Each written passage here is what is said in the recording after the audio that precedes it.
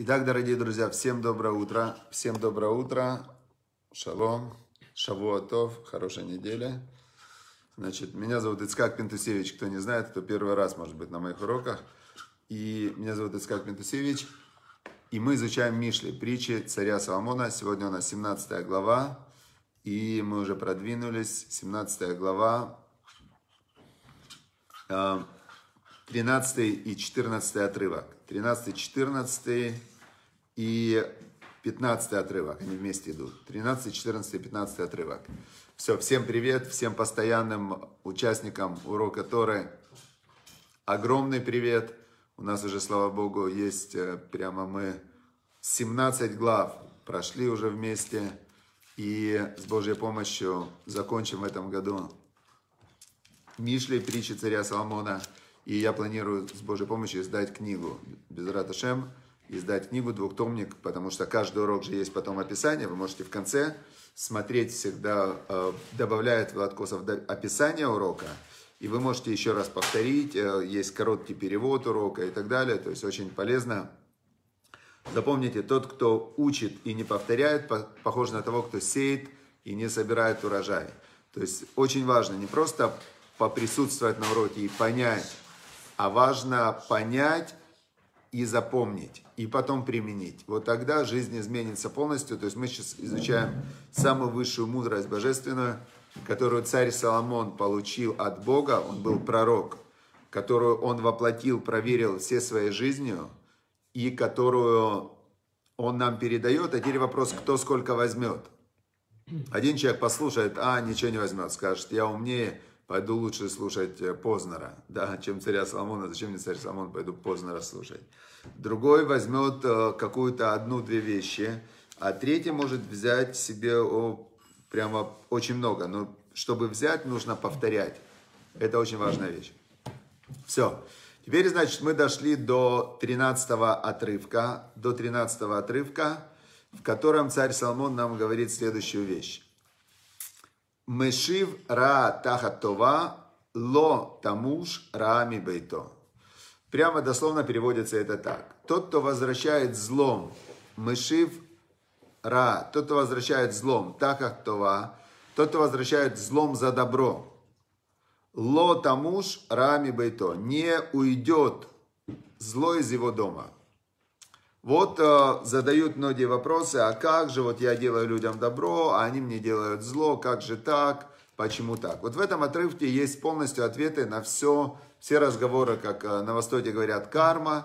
Вот здесь царь Соломон нам открыл все действительно нюансы, как работает э, то, что называют закон бумеранга, э, на Востоке называют это кармой, а Тора называет это по-простому – Та мера, которую человек меряет, меряют ему.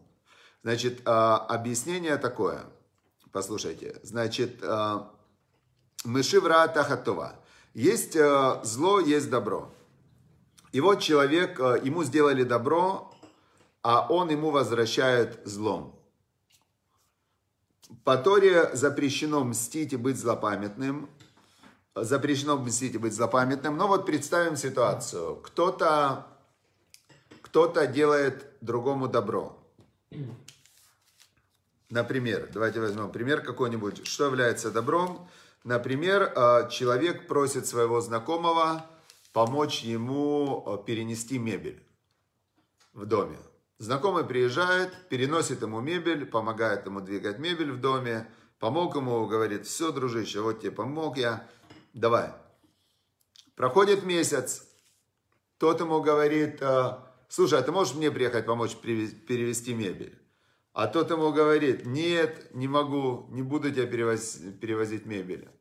То есть тут вопрос, это не прямое такое зло, да? А если он ему говорит, а, возвращающий злом вместо добра, он говорит, а, мебель хочешь, я тебя помог перевести? И пошел ему, пошел ему и разбил ему его мебель. То есть он ему сделал, давайте возьмем, не просто отомсти, не просто не помог, а сделал именно зло. Он ему приехал и разбил всю ему мебель, да? Написано, что не, не отойдет зло из его дома. А вдруг он сделал шуву, вдруг он раскаялся. может же у него быть такое, что он после этого начал делать добро. Вот он начал делать добро, что дальше тогда?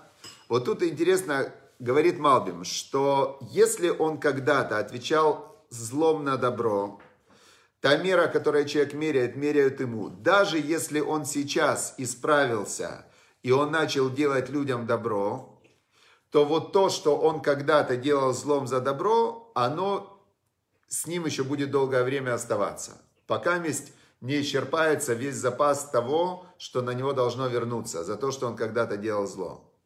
Вот здесь очень интересная эта вещь, что даже если он перестал делать зло, то тогда на него все равно какое-то зло возвращается. Я знаю, вот я когда начал, стал религиозным.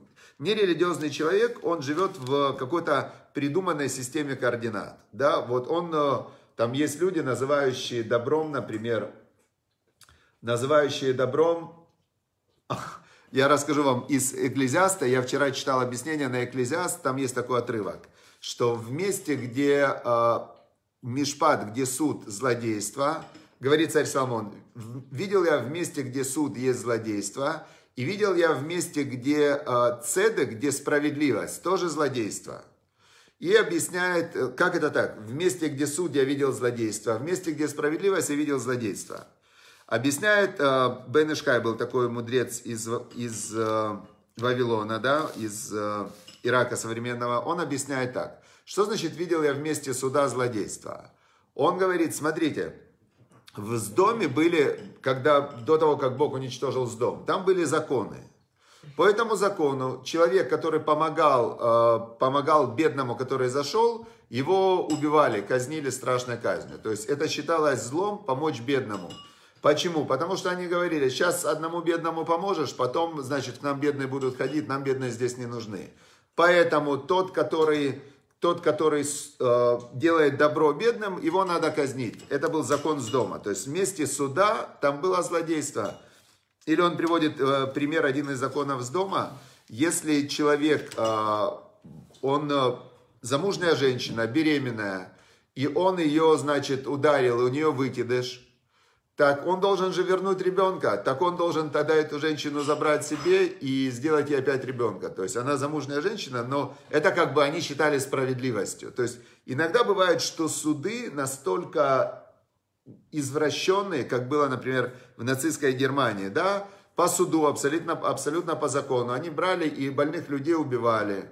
Они убивали евреев, включая детей. Это у них было по суду закон, кто, значит, нарушит закон, тому смерть. Кто защитит там больного или ребенка, или еврея, все, значит, смерть. То есть это то, что сказал царь Самон, в месте, где суд, а, там бывает злодейство. Теперь, а, и он приводит Бенешка, что значит в месте, где справедливость бывает злодейство? А, значит, он приводит такую историю, как приходит один человек к Равину и говорит, Рэбе, я совершил преступление, хочу сделать шуву, хочу раскаяться. Равин ему говорит, а какое ты сделал преступление? Он говорит, ну я сделал такое преступление, хочу в нем раскаяться. Я после еды, э, есть э, такой закон, что когда ты покушал, нужно сделать маем охроним, омыть руки. А, омыть руки, да? Значит, э, я не омыл руки после еды. Тот ему говорит, ну это не такое уж большое преступление, в, ну как бы не, не, сильно не переживая. Тот говорит, ну я да, я все равно переживаю, но как бы все равно я, э, у меня есть оправдание. Тот говорит, какое у тебя оправдание? Он говорит, ну я э, омываю руки перед Беркат Амазона, перед благословением после еды. А я все равно благословения после еды не читал. Поэтому у меня есть оправдание, что я не омыл руки. Тот ему говорит, ну то, что ты не читал благословения после еды, это намного более э, серьезное такое проступок, да, то есть ты же покушал, написано в Торе, будешь есть и насыщаться и благословлять Бога, а ты не выполнил заповедь из Торы, это уже более серьезно. Тот говорит, ну, у меня есть оправдание, то есть то, что я не сказал Беркат Амазон, у меня есть оправдание, тут я как бы ничего плохого не сделал. Тот говорит, а какое же у тебя оправдание? Он говорит, ну я еду некошерную ел. Так я же не буду после некошерной еды читать Беркат Амазон. Тот говорит, но то, что ты ел некошерную еду, это не оправдание того, что ты не читал Беркат Амазон. Это преступление, которое ты сделал. Это вообще нельзя есть некошерную еду. Тот говорит, ну вы меня простите, это вообще не преступление, потому что у меня есть оправдание. Я, значит, э, как я мог в Йом-Кипур найти кошерную еду? Ведь в Йом-Кипур же нету еды.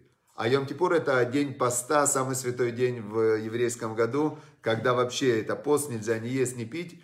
И он говорит, а как я мог найти в Йом-Кипур кошерную еду? Я должен был покушать, мне хотелось сильно кушать. Тот говорит, слушай, какое же это оправдание на Беркат Амазон и на некошерную еду? Это же ужас, это вообще страшное преступление, за это карет, за это отсечение души. Он говорит, нет, вы меня поймите, я же ничего плохого не делал. Я же эту еду-то, я в принципе ее, где мог взять, эту некошерную еду в Йом-Кипур? Я ее просто украл. В общем, Равин его выгнал, говорит, все твои оправдания, они еще хуже, они еще хуже, чем то, то что ты оправдываешь. Это то, что имел в виду царь Самон, говорил, когда наблюдая за людьми, я вижу, что и в месте, где суд как бы идет справедливый, там есть злодейство – и в месте, где люди оправдывают себя, там есть злодейство. Теперь к чему это, к чему это я здесь привожу? Да? Вот смотрите, 13 отрывок. Мышивра тахатова, тот, кто возвращает злом за добро, ло тамуш рами бейто, не уйдет зло из его дома. Значит, если человек делает зло, то тогда ему возвращается зло. Если он перестает делать зло, с этого момента у него включается новая причинно-следственная связь на небе, и он, значит, делает, э, делает другим людям добро, э, та мера, которую человек меряет, меряет ему с неба. Ну как же быть с тем, что он раньше это делал? Теперь, если он сделал шуву, сделал он шуву, он раскаялся за то, что он раньше делал, и он раскаялся перед Богом. Он сказал Богу, все, я там, ну просто виноват, виноват, виноват. Но все эти люди, которым он делал зло, он же их не нашел и не попросил у них прощения, и они его не, проси, не простили. И получается, что если он делал зло людям, то тогда, даже когда он раскаялся, то то зло, которое он делал людям, его догоняет. Я уже рассказывал, я когда-то слушал по радио э, одного равина, спрашивала, каббалиста такого, да, в Израиле по радио слушал э, передачу, и там звонят равину, задают вопросы, и одна женщина звонила и говорит, вот у нас с мужем был бизнес, э, фабрика, и потом, значит, мы в этой фабрике мы ее закрыли, э, и с тех пор, когда мы закрыли эту фабрику, мы начинали много раз бизнес новый, и везде мы прогорали. Везде мы прогорали, сейчас мы остались уже без денег, вообще не понимаю, что. Вот как черная полоса уже идет несколько лет после закрытия этой фабрики. Не понимаем почему. Этот Равин говорит, а скажите, вы когда фабрику закрывали, вы с рабочими рассчитались? Она говорит, нет, мы тогда не рассчитались с рабочими, потому что мы посчитали так, что мы деньги потеряли, значит, э, мы рабочим не должны. Он говорит, секундочку, но рабочие-то работу сделали. То, что вы потеряли, это глобально ваш был, это был ваш бизнес и так далее. Но рабочие-то отработали на вас? Отработали. Работу сделали? Сделали. Вы должны были с ними рассчитаться. Теперь, пока вас эти рабочие не простят, у вас, э, ну, почему вам должно вести? Вот это вот иллюстрация как раз вот этого случая. Он говорит этой женщине, этот раввин, найдите рабочих, пока они вас не простят. Представьте, человек работал целый месяц, у него семья, дети, он должен принести им зарплату, он приходит и говорит, вы знаете, мне не заплатили за месяц. То есть для рабочих это было страшно. У вас деньги остались, вы фабрику закрыли, у вас деньги остались, но на небе как раз вот то, что здесь написано. Тот, кто возвращает злом за добро, лотамуш рами бейто, не отойдет зло из его дома. То есть вот то зло, которое они сделали этим рабочим, оно с ними двигалось, двигалось, двигалось дальше. И он говорит, для вас будет исправлением, если вы их найдете, вернете им деньги за то, что вы им не заплатили за ту работу, и чтобы они вас простили. Тогда с вас снимется вот это вот то, что вы тогда сделали. Так я слышал по радио ответ, ответ Равина. Теперь дальше. Но мы должны знать вот этот вот принцип, и он объясняет много. Я могу так сказать, вот когда я э, стал религиозным в возрасте 26 лет, до этого я делал много разных поступков, я не знал, э, что такое добро, что такое зло. То есть э, в спортинтернате добром считалось, если кто-то на тебя не так посмотрел, ударить первым, да, чтобы не смотрел не так. Это считалось добро. Теперь то есть система координат, э, в которой живут люди, очень часто она идет в разрез с божественной системой координат. И потом, когда я, когда я стал религиозным, вот 26 лет это произошло, я начал все соблюдать и так далее. Где-то еще года два, года два, я очень плохо себя чувствовал. Особенно было вот когда день суда, Роша Шана, и вот как раз есть Роша Шана, день суда, потом 10 дней раскаяния, и потом Йом Кипур. Это как раз время для того, чтобы пересмотреть свою жизнь и раскаяться в том, что ты делал. И у меня где-то года два, у меня страшные были, я болел вот постоянно, вот эти 10 дней я болел, у меня были головные боли, там очень плохо себя чувствовал, пока месть я не, ну как, не очистился внутренне от всех тех э, запасов, которые тогда, как, ну когда-то, видно, я сделал какие-то вещи неправильные. Дальше, 14 отрывок, 14 отрывок звучит так. Потер маем, потер маем решит мадон, велифней идгала ариф натош. Значит, потер маем, значит, потер маем это как открывающие воды в начале ссоры, перед тем, как, как разольется вода, нетош, отойди от этой ссоры. То есть, э, давайте еще раз, дословно. Начало переводят, поменяли местами, чтобы было понятнее. Начало ссоры – это как прорыв воды. Оста, останови ссору, прежде чем она разольется. Значит, когда люди, ну, ссора это неправильно, мадон это не ссора, а это как раз, э, когда есть не ссора, мадон это суд. Начало суда, э, прорыв воды. Оставь суд, суд, э, прежде чем разольется она. Э, Мадон это не просто ссора. Есть люди просто ссорятся, это называется риф. Риф это просто ссориться. Мадон это когда они за что-то судятся. Когда у них есть какой-то финансовый спор, какой-то вот именно у них есть э, как дин, за что-то они судятся. И вот два человека, допустим, они судятся. Я помню, у меня когда-то был в Израиле, единственный у меня был суд здесь, сделали, а, сделали, значит, нам ремонт, и неправильно там теплый пол, неправильно, ну, лег теплый пол, просто неправильно. Они говорят, мы переделаем. Переделали они. Второй раз тоже он начал подниматься, ходить там и так далее. А, они говорят, давай мы второй раз переделаем. Я говорю, смотрите, вы уже один раз сделали, не получилось. Второй раз починили, не получилось. Третий раз, чтобы вы переделывали, я не хочу, потому что уже, ну, как бы, давайте вы отдайте мне деньги, а я найму других мастеров. Они говорят, нет, деньги мы отдавать не будем, потому что это снимать, ну, то есть это не будем. Я говорю, хорошо, значит, э, и вот тут наступил момент, когда мы могли каким-то образом договориться, и у нас бы суда не было. Но э, в тот момент я еще не учил вот этот отрывок, что лучше остановить суд – прежде чем э, вода разольется. И я, значит, э, говорю, ладно, тогда пускай по закону есть суд в Израиле, мне было интересно, давай будем разбираться. Э, нанял я адвоката, адвокат говорит, заплати деньги. Нанял он адвоката, его адвокат говорит ему, заплати деньги. Дальше год продолжался суд. У меня один адвокат, потом этот адвокат куда-то уехал, второй адвокат, второму заплати деньги. Все, потом суд, в общем, суд, знаете, что суд присудил? Суд присудил, а, чтобы они сделали еще раз, чтобы они починили. Я говорю, так а смысл в этом? То есть, если они два раза починили, и оно не работало, то третий раз чинить, какой в этом смысл?